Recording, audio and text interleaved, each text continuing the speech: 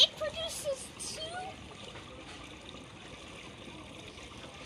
dark spots at the bottom of the pool. And yeah, and and you can see that they're vortices. They're beautiful. And they keep they keep spinning so long.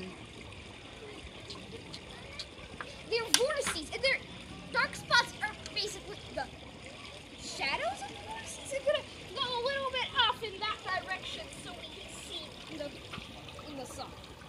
They don't go away.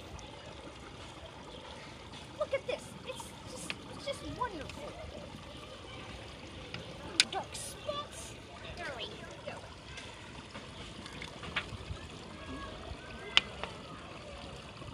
And you're saying this is only possible when the sun is shining. Yeah, because when the sun is not there, it's when the sun is not there, it's basically just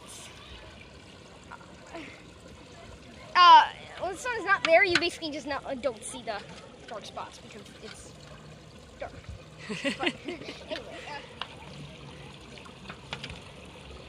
so those are the two things. If you collide two, it's interesting as well because that actually just kills it.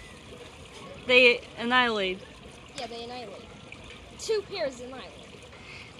We'll put a video in the description with a much with a much lengthier description, with a much lengthier explanation, longer explanation where you describe the physics behind this.